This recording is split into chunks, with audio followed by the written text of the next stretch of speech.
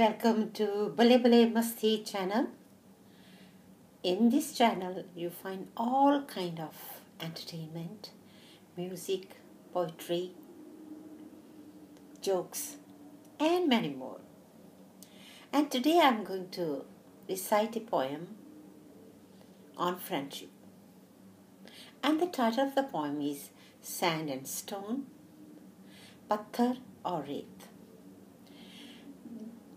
Friends or friendship is divine, is divine blessing of God.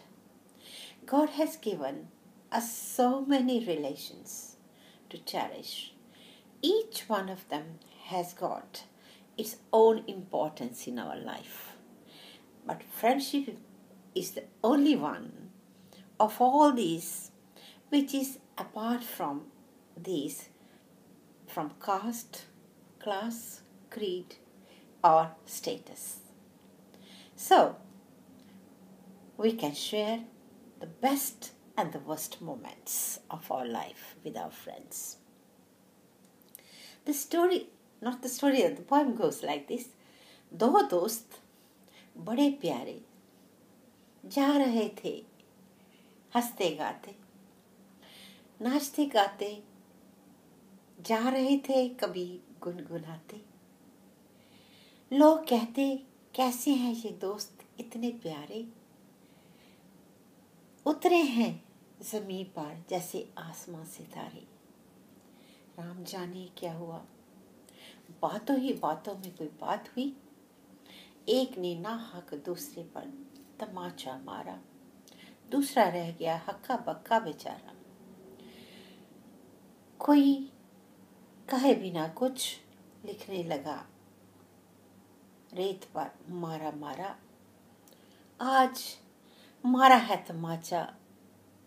मेरे जिगरी यार ने कोई बताए क्या किया है मेरे प्यार ने। मैंने दिल उसका कभी दुखाया नहीं। गलती मेरी को उसने क्यों बतलाया नहीं। मन कर्म वचन से मैंने दिया है उसको समान। लगा कहने मन में इसे माफ़ करना भगवान। आहिस्ता आहिस्ता चुपचाप बढ़ने लगे आगे दोनों। देखा एक मिराज, बेचारे प्यासे थे दोनों। तमाचा खाने वाला प्यासा बड़ा जैसे ही, बड़ा ही जैसे डूबने लगा। दलदल में दूसरा भागा बिजली जैसे लगाया उसे गले से। बच्चा ही यार की जान, डूबने वाला बोला, भाई, कैसे भूलूँगा तेरा एहसान? एक दूसरे से गले लगकर दोनों रोए जार जार क्रोध था वो मेरा, मेरे भाई, तमाचा जो तुझे दिया मार। कदम बढ़ाते जा रहे थे ऐसे, जैसे कोई बात ही ना हुई हो, जैसे। पत्थर पर लिखा, उसने आज मेरे यार ने बचाई मेरी जान।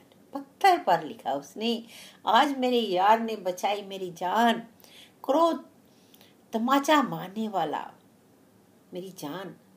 ये देखकर हुआ बड़ा हैरान। अरे वाह रेत पर तूने लिखा तमाचा खाया? पत्थर पर लिखते हो तूने मुझे बचाया? कहने लगा वो, उड़ा दो यार की कमियों को रेत के समान, उड़ा दो यार की कमियों को रेत के समान। पत्थर पर लिख दो। यारों के एहसान। पत्थर पर लिख दो। यारों को एहसान। So I will come back with few more jokes today as well on my channel